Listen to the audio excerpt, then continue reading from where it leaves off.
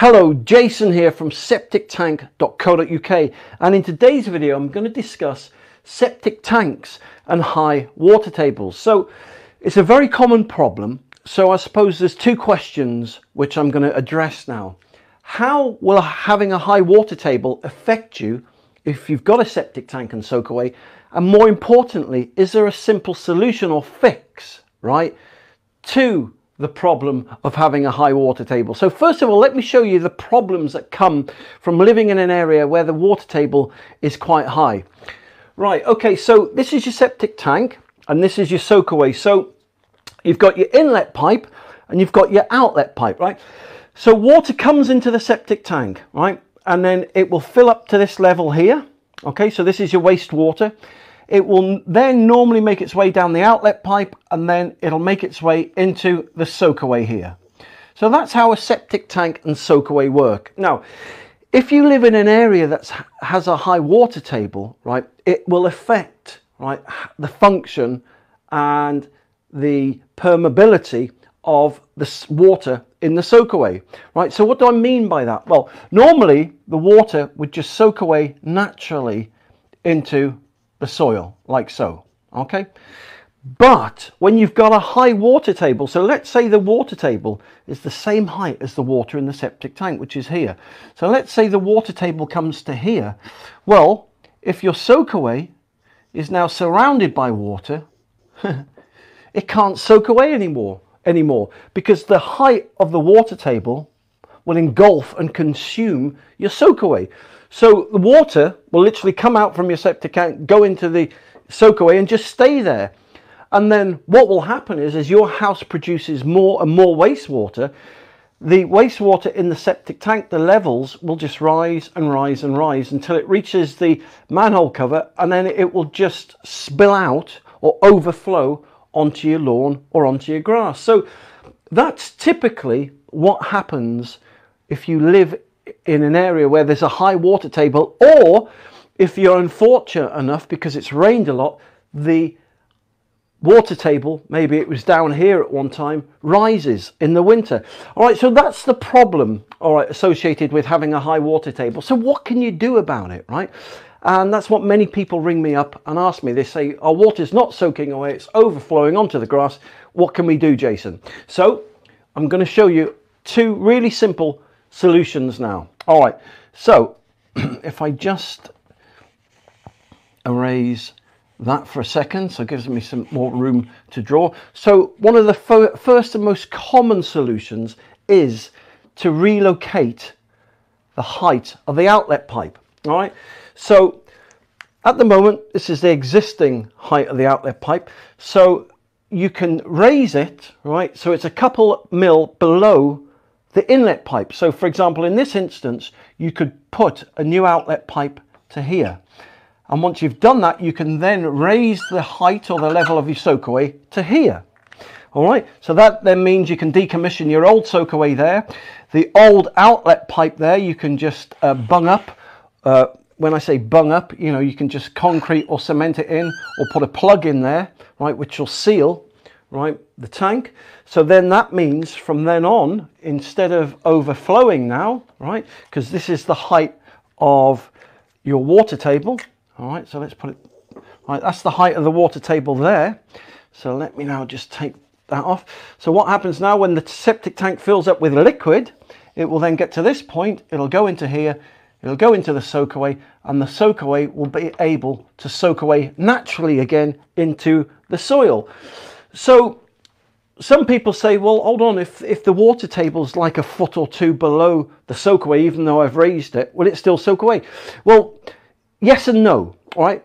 More often yes than no. So what are some good indications that if you've got a high water table and you've uh, raised the height of the soak away, that it will still soak away?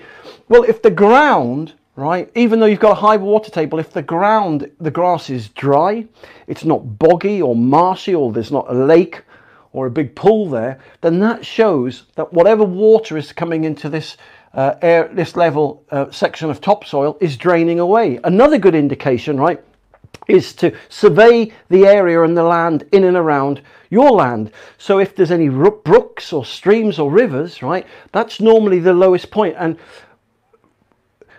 rain, once it rains, right, water always goes to the lowest point. So it falls on the mountains, falls on the high things, and eventually it all makes its way back into the sea and the process starts all over again. So water doesn't need much of a fall to travel, even in the worst boggy areas, right? In the UK, the water, funnily enough, will still drain away, it just drains away a bit slower, that's all.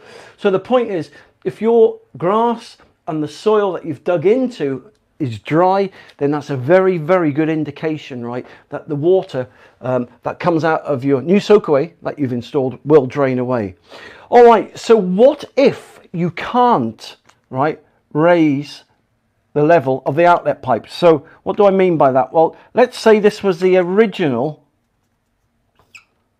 right, position of the soakaway, right, and your soakaway was here Let's say, for example, that you can't do it. So what would be some reasons as to why you can't do that? Well, let's pretend, right, that the inlet pipe was about here, coming into the tank. So if it was there, then obviously you can't have the outlet pipe higher than the inlet pipe. you know, it'll just, you know, the water will just like start backing up almost straight away back towards your house, right? So obviously that won't, won't work because everything works via gravity. So, but so what do you do then if you can't raise the height of your outlet pipe? Well, what you can do, you can actually put a, a pump chamber, right? So you can put a pump chamber here, right? Like so. And in there, there'll be a submersible pump, which is normally on legs like that. And then you have an inch and a quarter pipe, which will come from here, like a hose pipe, right, into your soakaway there. So then what happens is every time you uh, flush the loo or use the washing machine or whatever, you know, or, or, you know, pull the plug out and let a bath load of water come into the septic tank, you'll get a relative displacement, right? So you get a bath load of water coming here, a bath load of water will come into the pump chamber, and then a, it, they usually work on a float switch, it'll kick in, right? And then it, it will pump a bath load of water into your soakaway there. And then as we um, saw before, there you go, that's your inch and a quarter pipe. As we saw before, that water will then just soak away naturally into the soil. So these pumps are normally on for about half an hour a month, something like that. Because if you imagine, right, they can pump thousands of litres out um, every hour. So a bath load of water will just be pumped out literally in a minute or two and so um, so that is a very good option. The pumps you can get from screwfix are about 85 95 quid. They last you about five or six years. The pump chambers is just uh, like an inspection chamber. You can get them. They're about 200 quid. So for about 300 quid you can put a pump and a pump chamber in which will then pump the water up to basically whatever height you want to raise your soakaway to. I mean, that's a good level there. Some people like to raise the soakaway a bit more so it's a bit nearer the grass. The closer to the grass, the better. So there you go. That's what you do if you live in an area with a high water table. So thank you very much for watching this video today. Um, if you'd like more free help and advice and like to see more free videos, of how to fix and solve septic tank problems and just go to septictank.co.uk or you can go onto Google and type in septic tank TV or go onto YouTube septic tank TV you'll see more of me and thousands of videos I've done free videos which will help you and give you lots of tips and advice. And if you subscribe to my YouTube channel you're in with a chance to win a free septic tank and soakaway kit or a big mag, mega bucket of septic tank soakaway worms, which keep soakaways unblocked. So thank you very much for watching this video today. You take care and I'll speak to you soon. For more information, just click the link below this video or visit septictank.co.uk for free help and advice.